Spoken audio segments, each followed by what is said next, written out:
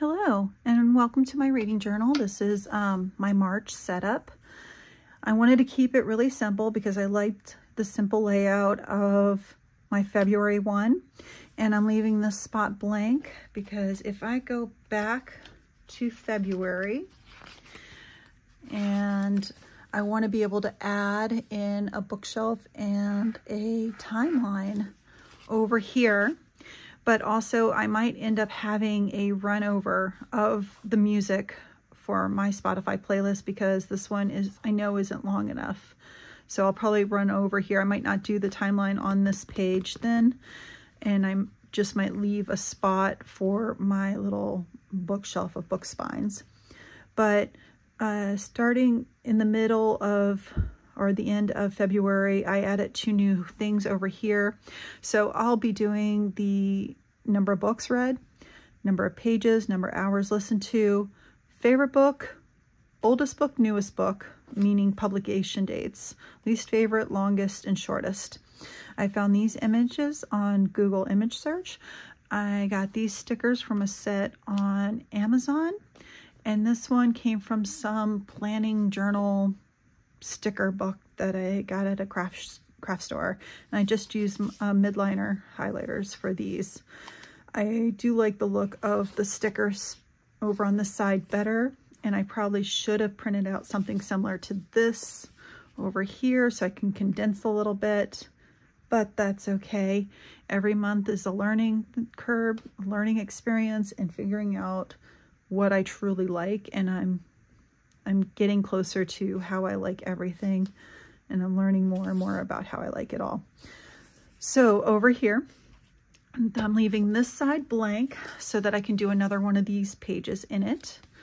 And then also I'll probably have to leave a spot blank for all of these as well somewhere in here because I won't have room. I just realized. And over here is a new one and it's kind of like a bingo. I mean, you could do a bingo, but like three things, but it's all about either publication dates or when something takes place. Like um, one of the books I read last month was a newer um, 2000s, like maybe in the 20 teens publication, but it was, it took place in 1983. Um, I think for right now, I'm going to stick with publication date on it. But I'm not sure. I might do both. And then over here is my March bingo. You can see I've already filled out a little bit with the book I'm currently listening to at the moment. So for, I already have a whole thing, a whole video on this bingo, but I'll quickly just read it. Roy G. Biv cover, which is a rainbow cover. Dog, dog can be on the cover in the book somewhere. Irish Ireland, mathematician or scientist, plus size character, egg, eggs in the book. Green cover, song mentioned in the book. French word used in the book, cat, in or near water, TBR book, which has to be in this, the physical TBR inside of here, several pages back.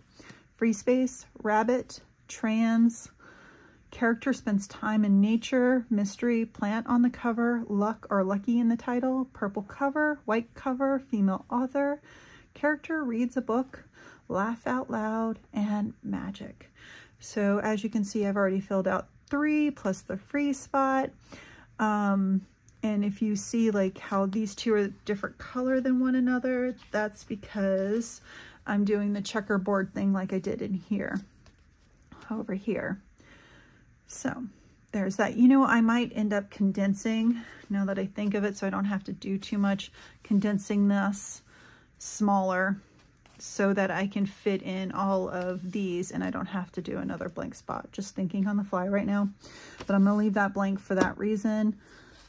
And then I have joined in Realmathon. It is my first readathon um, book thing. I do a lot of photo stuff on IG, on Instagram, um, that is kind of like this, but not point system. So it'll be fun to do a book thing where there's a whole point system involved. Um, Cassidy, let's see, is she on here? I don't see her name here, but um, I'll link her below. Cassidy is the one who put this all together. And this is uh, supposed to be the realm where it takes it takes place uh, at an academy. So everything has, um, you get extra points if there is a school or academic um, theme in the book or placement. So it's called Judicium Academy. There are four realms, uh, blood, creation, shadows, and um, I can't seem to think of the fourth one at the moment. Um, but Realmathon 3.0, I believe this is supposed to be for the TBR that you're supposed to put down, but I'm going to use it as a place to put all the books that I'm reading this month that I count towards the point system uh, for this because basically what I'm counting for my TBR is the one that's physically in this book and the ones for all the books that I put on hold at the library. Granted, I do have a TBR on Goodreads as well. And then this is the list of all the co-hosts doing it. Oh, the other, the fourth thing is time. So shadows, blood, time, and creation. So I've joined shadows.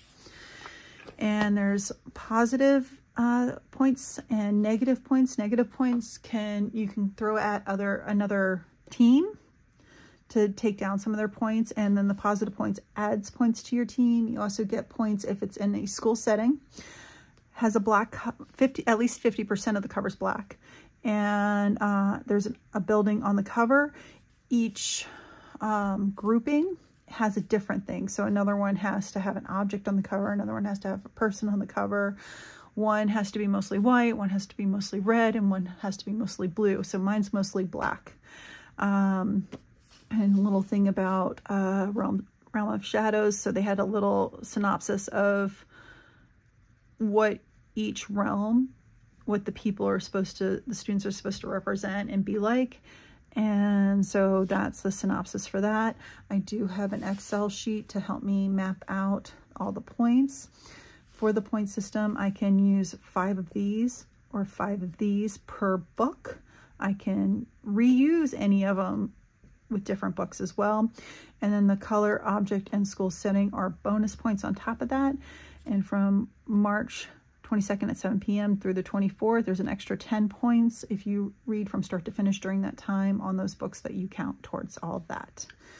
And then that's that for, for this. Um, I might just leave these two pages blank so that I can go back in and maybe print out a version or write in a version of um, what I'm doing, the point system and everything. It all depends. I might just do the pages of the books, like when I do my, my little summary uh, pages, put down what points I used, but I think I might just leave these two blanks so that I can go back and go in for that and do any kind of overflow for my other two pages. All right. So that is my March setup and it'll be fun to try my first readathon. All right, thanks. Bye.